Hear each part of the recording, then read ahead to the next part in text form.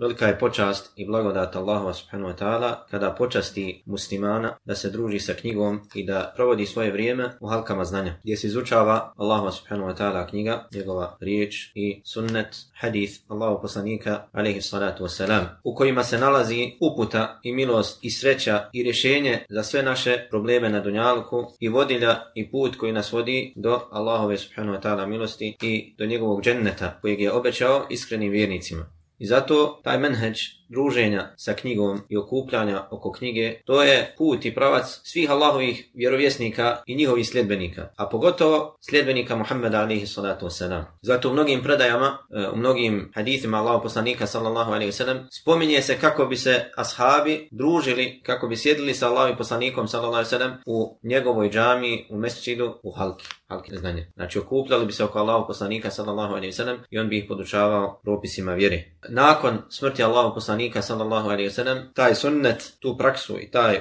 menheđ naslijedili su njegovi ashabi. Pa bi se tabi'ini, oni koji su zatekli i susreli se sa generacijom ashaba, oni bi okupljali se oko ashaba. Pa nakon njih su taj sunnet naslijedili tabi'i tabi'ini, pa su okupljali oko tabi'ina. I sve do dana današnjeg. Tako da na jedan način možemo da kažemo da se znanje tim lancem prenosilaca prenosi još od vremena Allaha poslanika sallallahu alejhi ve sellem do dana današnjeg. Za razliku od onih koji se ne okupljaju oko knjige, ili su samouki, ili sami izučavaju, i onda dolaze sa čudnim stavovima, ili dolaze sa pogrešnim razumijevanjima i tumačenjima vjeri.